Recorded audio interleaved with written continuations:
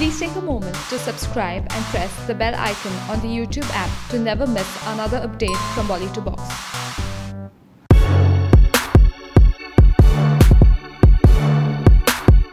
ऐश्वर्या राय और सलमान खान की love story किसी से भी नहीं छुपी है। और ऐसे में हम हैरान रह गए जब उनके पति अभिषेक ने ये रिवील किया कि उनकी सबसे फेवरेट रोमांटिक मूवी हम दिल दे चुके सनम है। क्या? ये तो हम सभी जानते हैं कि इसी फ़िल्म की शूटिंग के दौरान ऐश और सलमान का प्यार और भी गहरा हो गया था। मगर अभिषेक को इससे कोई फ़र्क नहीं पड़ता।